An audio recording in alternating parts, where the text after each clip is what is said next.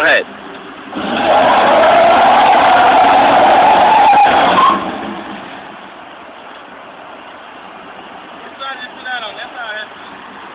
That was on the other side now.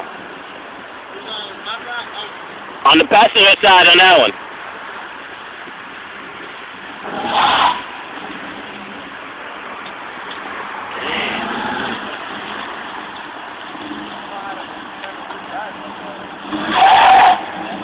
Yeah.